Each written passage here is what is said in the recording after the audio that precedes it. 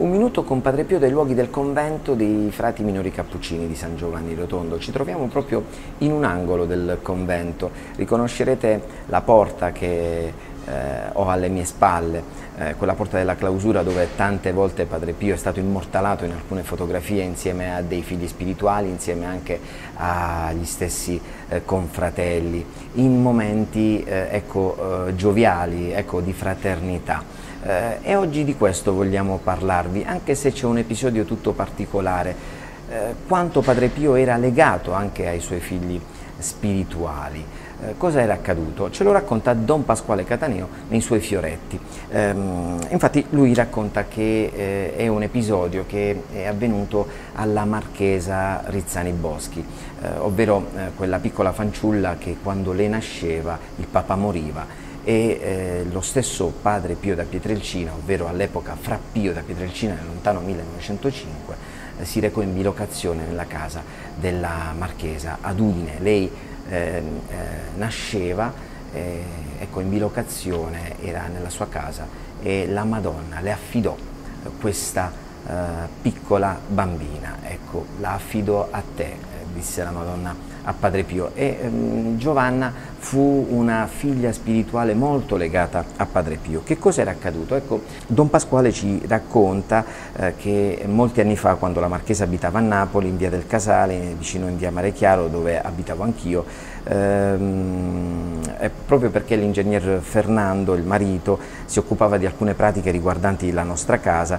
eh, quindi avevo perciò occasione di recarmi spesso dalla signora e quindi il discorso cadde su Padre Pio eh, che avevo anch'io conosciuto e frequentato dal 1940. Un giorno come di tanto in tanto faceva la Marchesa, eh, venne nella nostra chiesa, eh, chiese di confessarsi e quindi fare la comunione. Erano circa le 9 del mattino, io venni avvisato, scesi in chiesa, confessai la signora, le feci la comunione e poi me ne risalì in camera.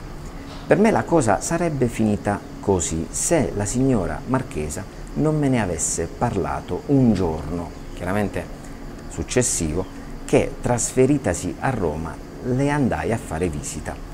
Giacché quel mattino, ecco qui il racconto, che venne a fare la confessione a Napoli, ehm, accadde qualcosa di particolare. Infatti ci fu un vero e proprio schiaffo. Infatti Don Pasquale scrive io non sentii nessun rumore di schiaffo, né sporsi il capo dal confessionale, come si legge anche nello stesso libro di padre Alberto D'Apolito che ha raccolto la testimonianza di Giovanna. Nel corso della conversazione, dunque, la marchesa mi dice ma sa Don Pasquale che quel giorno che venne a confessarmi da lei, Padre Pio mi diede uno schiaffo? Ed io risposi, come uno schiaffo? Io non ho sentito niente. E Giovanna continuò, lei non ha sentito niente, ma io sì. E come? Poi qui la spiegazione, che Padre Pio, visto che lei aveva preso l'abitudine di confessare peccati già detti in precedenti confessioni, le aveva ingiunto di non farlo più.